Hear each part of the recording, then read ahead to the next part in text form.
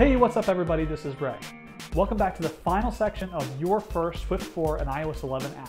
In this section, you'll finally finish up Bullseye by styling the app to make it look great. You'll start by styling images, labels, sliders, and buttons in your app, and you'll get some practice of doing this on your own. You'll also learn how to use the iOS WebView control to display some custom HTML inside your app. The iPhone comes in a variety of different screen sizes, so you'll also learn how to use a powerful technology called Auto Layout to make your app look great on all devices. Auto layout is one of the biggest areas of confusion for beginners, so we'll be giving you plenty of practice in this section of the course. We'll be touching on it again and again in future sections of this course as well. Finally, you'll put the finishing touches on the app by setting its icon and display name, and you'll even learn how to make it run on your own device. By the time you're done this section, Bullseye will be 100% complete, and you'll be ready to carry around your first Swift 4 and iOS 11 app in your own pocket.